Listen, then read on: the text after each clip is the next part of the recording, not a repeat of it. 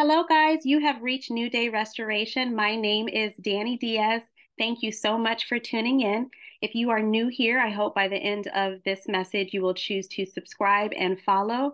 And for my listeners that have been listening to me for a while who are unsubscribed, what are you waiting for? Go ahead and just hit subscribe. so, you guys, I want to talk about something that is very important. I know a lot of you this will hit home for. Um, it's going to be a short video, but again, I think that it's going to resonate with many of you who are struggling in this area. So today we're going to talk about the devil being into the details. So we've all heard this saying, and I can sure, assure you, he really is. Satan is conniving, he's the master con artist, and he's always calculated. And guess what? He has a whole army of willing and unknowing participants. His minions, your family and friends, your spouse, and those attached to your spouse. So here at New, Des- New Day Restoration, uh, we have one-on-one coaching. Uh, we presently have four mentor uh, mentees, excuse me, mentors. Excuse me, I can't talk today.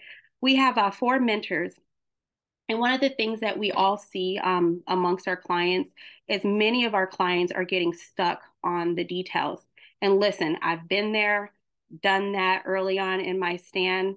You know, there's um, a lot of us who will check their social media, they're hacking into their e- email accounts, checking bank or credit card statements, reaching out to friends or family members to pull information so you can later analyze the data and then come up with your own theories. You guys, we have to stop this. This is going to make you crazy and miserable you're falling into the hands of the enemy and you are stepping on the toes of God and the process that he is trying to take you through. So, I want to talk about how this hurts you and how it affects your stand. So, number one, when you analyze, you only have a piece of the story. So, this creates doubt in your mind and can set you back emotionally it not only creates doubt, it can create disappointment, fear, anger, and confusion. These are all traits that come from the enemy. It's important that your faith is unwavering in this stand. So just say no. Colossians 3 2 says, Set your minds on things above, not on earthly things, for you died and your life is now hidden with Christ in God. You guys, we cannot focus on what our natural eye sees. It will lie to us. We have to keep our focus on what God says. The promises that He has given us, we stand on. We have to allow Him to guide us into all truth. So the answer is to focus on Yeshua. Number two, you are telling God you don't trust Him. I keep saying our faith and trust is predicated on how and when God moves for us. It's the nature of God. He works and moves according to our faith. He's trying to teach us how to trust Him wholeheartedly. Your spouse or external factors are not a match for God. God works outside of time. He sees everything. Everything is already predestined. He already knows what's going to happen. So, why would you seek things out and try to analyze and you know, drive yourself crazy when we already can put our trust into our God who knows it all, who already knows how this will end, and who wants us to partner with him so he can move swiftly.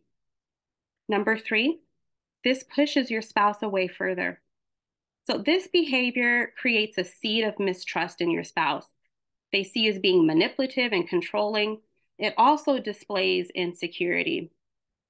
Your spouse needs to see that your house is built on a rock and not sand. They need to see that you're unmoved because you completely put your full assurance and you're reliant on Yeshua.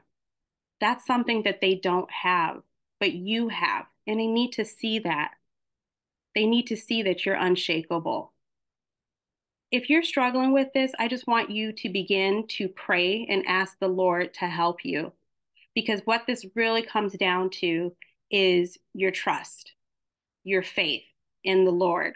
So if this is something that's really convicting you in your heart, just let this be you know, God speaking through me. he wants you to trust him.